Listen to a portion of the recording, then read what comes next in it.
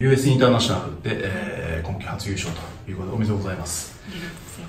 まず率直な、まあ、感想なりその試合をちょっと振り返っていただきたいんですけどどうでしょうか？まあ今シーズンの初戦だったのでうんまずどんな評価を得られるかっていうことで、うん。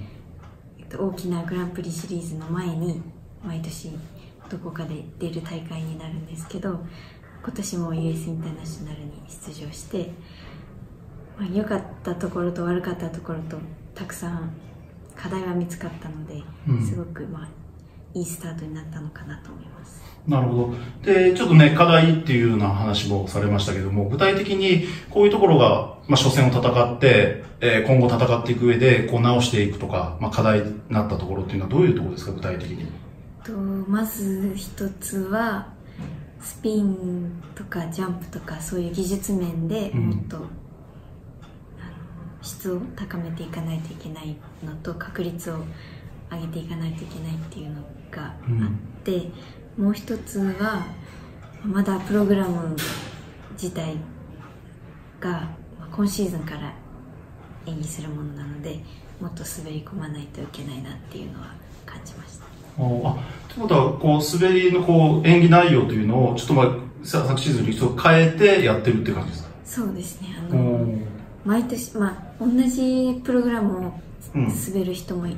いることはいるんですけどほとんどみんなが毎年新しいプログラムを作ってうん。新しいシーズンに臨むので私も今年はというか毎年違うプログラムおをしていますーなるほど。で、まあ、そう US インターナショナルちょっと詳しく聞いていきたいと思うんですけど、まあ、ショートプログラムで74.16点。で、まあ、この時点で、まあ、2位の選手と、まあ、8点差だったと思うんですけども、で、ショートプログラムの出来というか、そのあたりでどうですか、まあ、首位立てたというか、そのあたりも含めて。練習はあん、うんまあ、良くなかったことはないんですけど当日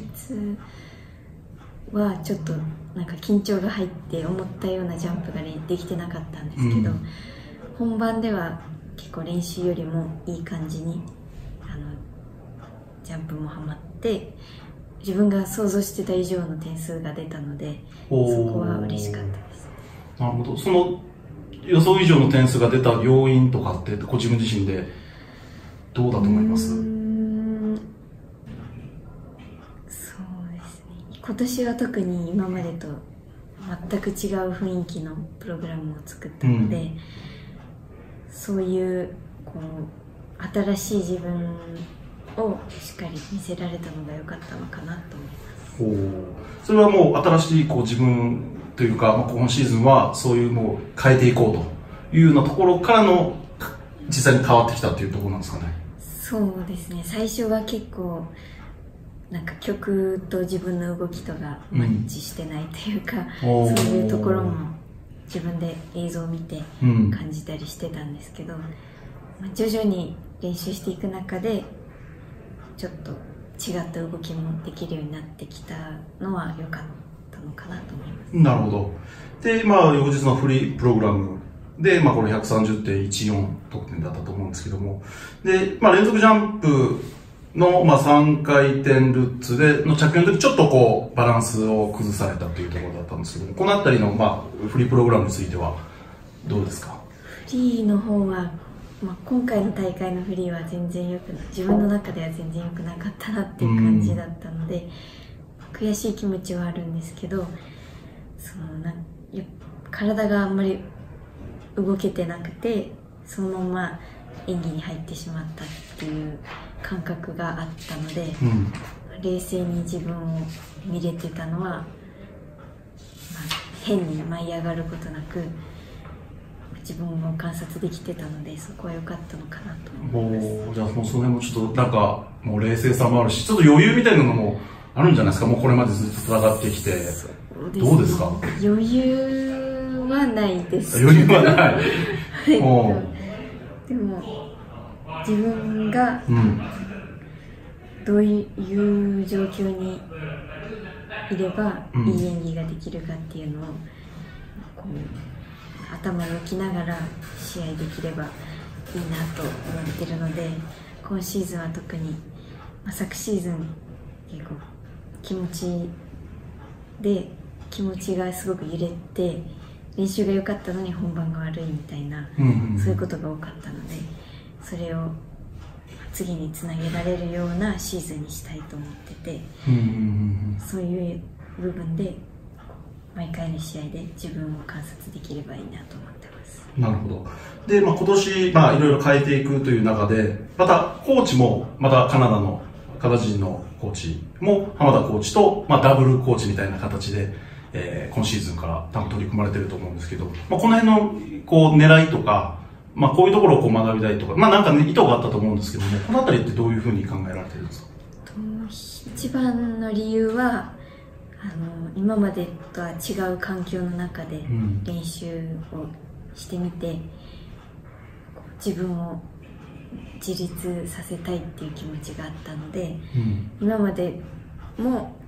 変えたいとは思ってはいたんですけどなかなかうん毎年結局あんまり踏み出せずに終わってしまってるなっていう感覚になっていて、もうそれなら思い切って環境を変えてしまえばどうなるかっていうのをチャレンジしたくて思い切って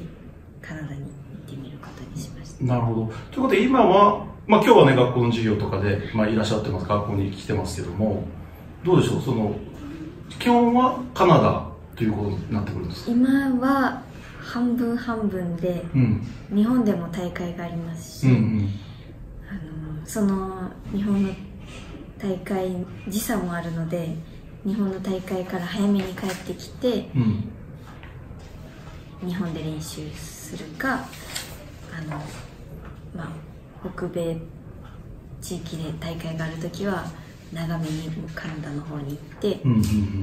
習するかそういう感じでやってます。るほど。大変ですね、その、まあ、海外を転戦するし、フィギュアスケートの選手ってすごいなと思うんですけど、この後の苦労ってどうですか、その移動とか、海外時差ボケもあるし、はいね、大学生だから授業もあるし、かといって実競技もある、試合もある。どういうふうにこう両立というか、させてるのかなっていうのを。とやっぱり両立するのは難しいので、うん。まあ、両立できているとは言い難いですけどなるべく授業に行ける時は行ってで試合の時はまあ試合に集中してっていう感じで、うん合間合間で課題をやったりとかしていまあなるほど。やっぱしっかりね、大学の課題とかもされてるということを聞いてるので、立派だなと思うんですけども。で、ちょっとこう、今、いろんな資料をちょっと読ませていただいてるんですけども、こう、また、こう、し衣装みたいなのもちょっとこう、こだわってるみたいなところあると思うんですけど、このあたり、ちょっと教えてもらっていいですか？衣装は試合の衣装はお任せなんですけど、その前に試合に行く前にアイスショーに出てうん。新しいプログラムをそこで滑ったりとかすることがあってその時には自分で結構デザインしてなんかこんな衣装を着たいなと思って衣装さんにお願いしたりすることがありますあ、そうなんじゃあ、イメージだけそれでこう、さすがに自分でこう作ったりはさすがに、さすがにそこまではできないでか。でもこう絵描いて絵描いて。はい、へこんなえ。感じがいいですって言って。こうなんかその辺ってそう、こういうのがいいなって思うときに何かにインスピレーションを受けたりするんですか？他の競技だったり、こういうな女優さんとか、はなんかあるんですか？その辺。そうですね。他の選手が着てたこういう形の衣装がいいとか、うんそういうのは結構あのアイディアに加えたりとかしますあとは音楽自分の滑る曲聴いてイメージこんなんかなって考えたりします、うんやっぱそういうところも、やっぱ一つのこうあフィギュアスケートの自分の中での楽しみでもあるんじゃないですか。滑るだけじゃなくて、見せるという部分でも。はい、うん、なるほど。で、どうでしょう。まあ次、また10月のえ5日でしたっけ？いつかで ?5 す日ですね。また日本で、東京でしたか？埼玉埼玉か。で、まあ大会あると思うんですけど、まずそこに向けての、まあ、意気込みといいますか、お聞かせいただけたらと思います。そうですねこの間の初戦ではやっぱりフリーが悔しかったので今回10月5日のジャパンオープンはフリーだけで競う大会なので、うん。そこでフリーのリベンジができるようにしたいなと思ってるのとあとはジャパンオープンは団体戦になるうんので、うんまあ、日本チームとして日本チームの一員としてしっかり自分の演技をしてプラスチームにも迷惑をかけないようにチーム一丸となって頑張れたらいいなと思います、なるほど。で、まあ、今シーズン、もうちょっとちょっと話を大きく進みますけど、今シーズンのこう自分のなりの目標、まあ、目の前にはね、当然今のジャパンオープンがありますけども、2019年シーズン、まあ、2020年の先まであると思うんですけども、はどういうふうに見られてます、今シーズン。今シーズンは自分がやってきたことを試合でちゃんとやるっていうことを、まあ基本的なことではあるんですけど、いつも試合になったらこうせっかく良かったことが緊張でできなかったりとかうん。そういうことが多かったのでそういうあなんかまたあそこがダメだったなとかそういうことがないように毎回の試合きっちり演技をして舞い上がってしまわずに冷静に試合できたらいい試合できるようにしたいです。えーいやでも舞い上がってるような感じはこう全然見えないんですけどやっぱ気持ち的には結構そうなってるんですそうですね。結構緊張しいなのへで、えせっかく練習で良かったのにっていうことが結構あります、じゃあ本番でまずはこうやってきたことをしっかり出せるようなっていうところが一番のところかななんかこう目指してる大会とかここで勝ちたいとかそういったものはどうなんでしょうか？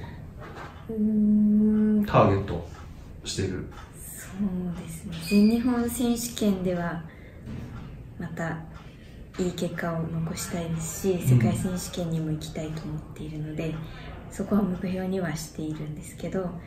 まあ、でも毎回の試合できっちり自分の演技をするっていうことが今一番の目標ですなるほど。わかりました。じゃあ最後にですね、えー、三原選手のファンだったり、まあ、関西大学カイザーズのファンもたくさんいると思いますので、あその方々に向けてメッセージをよろしくお願いします。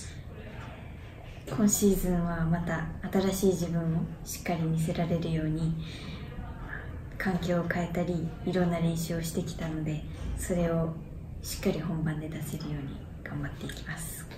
はいよろしくお願いしますはい、ありがとうございました。